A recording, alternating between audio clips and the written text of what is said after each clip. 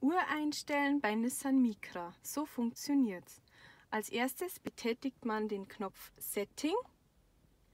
Dann geht man mit dem Rädchen auf den Punkt Uhr. Bestätigen, bestätigen und nun kann die Uhr eine Stunde zurückgestellt werden.